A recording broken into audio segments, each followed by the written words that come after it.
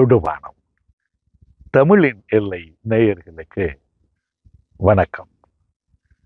நட்டு ஆயிரம் வருடம் நானிலத்தில் காய்த்து நிற்கும் பட்டாயிரம் வருடம் பாழ்போகா என்று தாள விலாசம் இந்த பனை மரங்களை பற்றி குறிப்பிடுகின்றது. திருவள்ளுவர் கூட திருக்குறளில இரண்டு மரங்களை பற்றி குறிப்பிட்டிருக்கிறாராம். ஒன்று பனைமரம் மற்றொன்று மூங்கில். அறத்துப்பாலில செய்நன்றி அறிதல் அதிகாரத்தில நூற்றி நான்காவது குரலில் பனைமரத்தை பற்றி திருவள்ளுவர் குறிப்பிட்டிருக்கிறார்.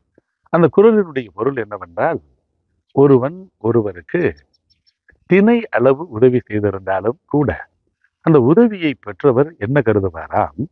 அந்த உதவியின் பயனை பனையளவு என்று கருதி நன்றி செய்வாராம்.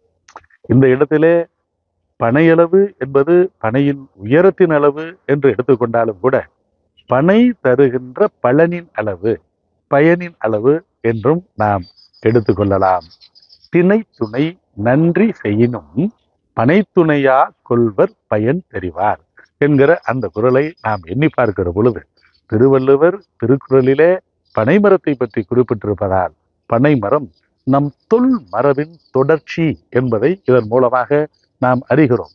பனை மரத்திற்கும் நமக்குமான உறவு ஆதி உறவு என்பதையும் நம்மால் உணர முடிகிறது. தெரிந்தோ தெரியாமலோ அறிந்தோ அறியாமலோ புரிந்தோ புரியாமலோ நேரிடையாகவோ மறைமுகமாகவோ பனைமரமும் அதன் பயனும் பண்டை காலம் தொட்டு இந்த காலம் வரை நம் வாழ்விலே இரண்டர கலந்து விட்டது என்பதை நம்மால் உணர முடிகிறது. பனைமரம் நம் உணவில் மட்டுமின்றி நம் உணர்விலும் ஒன்றி கலந்து விட்டது என்பதை நாம் எண்ணி பார்க்கிறோம். பனைமரத்திலே இளம் பனையை சிறிய பனையை வடலி என்று குறிப்பிடுவது உண்டு. இந்த வடலி என்கிற சொல்லிலிருந்து தான் விடலை என்கிற சொல் வந்திருக்கக்கூடும். கிராமங்களிலே இளம் பருவத்தினரை விடலை பருவத்தினர் என்று குறிப்பிடுவார்கள். இந்த விடலை என்கிற சொல் வடலி என்கிற சொல்லிலிருந்துதான் வந்திருக்கக்கூடும் என்று சொல்லாராய்ச்சியாளர்கள் குறிப்பிடுவதும் உண்டு. சுமார் முன்னூற்றி எண்பது ஆண்டு காலத்திற்கு முன்னால் இந்த பனைமரம் இந்த மண்ணில் தோன்றியிருக்கக்கூடும் என்று தாவரவியல் வல்லுநர்கள் கருதுகிறார்கள். பனைமரத்தை பொறுத்தவரையிலே எந்த விதமான மனித முயற்சியுமின்றி உதவியுமின்றி தானாகவே வளரக்கூடியது. பனைமரத்தின் விதை எந்த இடத்தில் விழுகிறதோ அந்த இடம் எந்த இடமாக இருந்தாலும் எந்த நிலமாக இருந்தாலும் அந்த நிலத்தில் பனைமரம் முளைத்து வளர்ந்து செழித்து கிடப்பவை என்பதை நாம் எண்ணி பார்க்கிறோம். பிறருடைய உதவியின்றி பனைமரம் வளர்ந்தாலும் கூட தன் வாழ்நாள் முழுவதும் பிறருக்கு உதவுகிற பயன் தருகிற கற்பக தருவாகத்தான் பனைமரம் என்றைக்கும் இருந்திருக்கிறது. சிவன் பிரம்மாவிடம் கேட்டுக்கொண்டதற்கு இணங்க பிரம்மா மண்ணில் இந்த பனை மரத்தை கற்பக மரத்தை தந்தார் என்று ஆன்மீகவாதிகள் குறிப்பிடுவது உண்டு.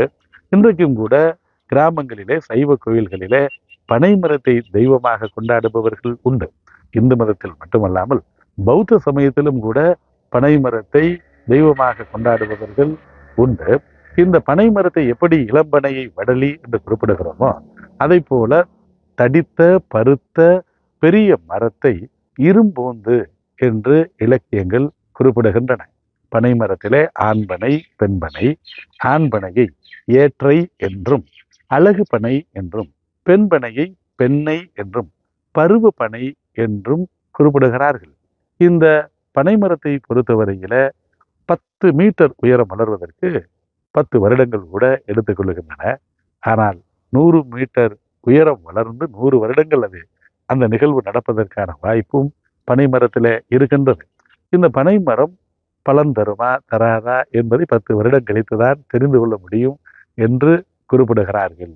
பனைமரத்தை பொறுத்தவரையில அதனுடைய தாவரவியல் பெயர் ஃபாரஸஸ் ஃபிளாபெரி பெர்லின் என்றும் ஃபாரஸஸ் ஃபிளா பெல்லிபர் என்றும் குறிப்பிடுவது உண்டு. தமிழகத்தினுடைய மாநில மரமாக இந்த பனைமரம் இருக்கின்றது. சேரர்கள் தங்களுடைய வாழ்வின் அடையாளமாக அங்கமாக பனைமரத்தை வைத்திருந்தார்கள். பனம்பு மாலையை அவர்கள் தங்களின் கௌரவமாக கருதி அணிந்து வந்தார்கள் என்பதையெல்லாம் என்று எண்ணி பார்க்கிறோம். இன்றைக்கு தமிழகத்திற்கு அருகிலே இருக்கிற கேரளாவிலே பாலக்காடு மாவட்டத்தை பனைமர மாவட்டம் என்று அழைத்து சிறப்பிக்கிறார்கள். பாலக்காடு மாவட்டம் அதனை சுற்றியுள்ள மாவட்டங்களில் மக்களின் வாழ்வில் ஒரு அங்கமாக இந்த பனைமரம் அமைந்து விட்டது எனவேதான் அங்கே மலையாள இலக்கியங்களிலே சிறுகதை புதினம் கவிதை போன்றவற்றில் பனைமரத்தை கருவாக கொண்ட இலக்கியங்கள் பின்னி பிணைந்து எழுதப்பட்டிருக்கின்றன என்பதையெல்லாம் நாம் எண்ணி பார்க்கிறோம். இந்த பனைமரம் தென்னாப்பிரிக்க ஆப்பிரிக்க கண்டத்திலே பதினைந்து நாடுகளிலும் ஆசிய கண்டத்திலே பத்து நாடுகளிலும் தென் அமெரிக்க கண்டத்திலே ஐந்து நாடுகளிலும் விரவி கிடக்கின்றது என்பதை நாம் எண்ணி பார்க்கிறோம். இந்தியாவிலே பனிரெண்டு மாநிலங்களிலே இந்த பனைமரங்கள் விரவி கிடக்கின்றன. தமிழகத்தில் இந்த பனைமரம் பரவலாக அனைத்து மாவட்டங்களும் பரவி கிடந்தாலும் கூட குறிப்பாக கன்னியாகுமரி தூத்துக்குடி திருநெல்வேலி விருதுநகர் மதுரை சிவகங்கை ராமநாதபுரம் புதுக்கோட்டை தஞ்சாவூர் திருவாரூர் நாகப்பட்டினம் போன்ற மாவட்டங்களில் அதிக அளவு பனைமரங்கள் காணப்படுகின்றன. ஒரு காலத்தில் ஐம்பது வருடங்களுக்கு முன்பு முப்பது கோடி பனைமரங்கள் தமிழ்நாட்டில் இருந்திருக்கலாம் என்று குறிப்பிடுகிறார்கள். ஆனால் சமீபத்தில் ஐந்து கோடி மரங்கள் தான் இருக்கக்கூடும் என்று கதர் மற்றும் உள்ளூர் குழுமம் எடுத்த கணக்கெடுப்பின்படி அந்த ஐந்து கோடி மரங்கள் தான் இருக்கக்கூடும் என்று நாம் தெரிய வருகிறோம். ராமநாதபுரம் மாவட்டத்தில் அதிக பனங்க பனை மரங்கள் அழிக்கப்பட்டு விட்டன என்பதை எண்ணி நாம் வருந்துகிறோம். இந்த பனை மரம் இந்தியாவில் மட்டுமல்லாமல் இலங்கை இந்தோனேசியா மடப மடகாஸ்கர் மியான்மர் கம்போடியா தாய்லாந்து போன்ற நாடுகளிலும் செழித்து கிடக்கின்றன. குறிப்பாக கம்போடியாவினுடைய தேசிய மரமாக இந்த பனைமரம் இருந்து வருகிறது. கம்போடிய மக்களுடைய வாழ்க்கை முறை அனைத்திலும் பனை சார்ந்த உடை உணவு வாழ்க்கை முறைதான் இருந்து வருகிறது என்பதை நாம் எண்ணி பார்க்கிறோம். இலங்கையில முல்லைத்தீவு கிளிநொச்சி போன்ற பகுதிகளில பனைமரங்கள் நிறைந்து காணப்படுகின்றன. தமிழக வரலாற்றிலே தமிழ் திருக்கோயில்கள் வரலாற்றிலே திருப்பனந்தாள் திருப்பனையூர் திருப்பனங்காடு திருக்குறுங்குடி போன்ற கோயில்களிலே தலமரமாக பனைமரம் இருந்து வருகின்றது. அந்த ராமபுரான் தன் அம்பை எடுத்து எய்த பொழுது அது ஏழு பனைமரங்களை துளைத்து கொண்டு வெளியே வந்தது என்று புராணங்கள் குறிப்பிடுகின்றன. இதற்கான சிற்பங்களை கர்நாடக மாநிலத்திலே அமிர்தாபுரத்திலே அமிர்தேஸ்வரர் கோயிலிலே அந்த சிற்பங்கள் எல்லாம் இருக்கின்றன என்று குறிப்பிடுகிறார்கள்.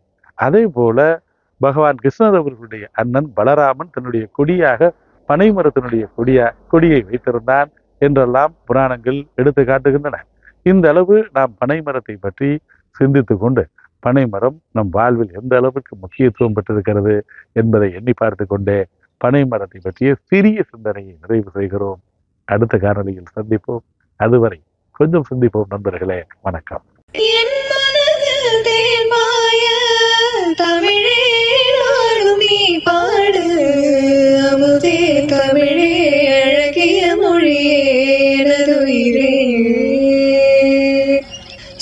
பல தரும் தமிழ்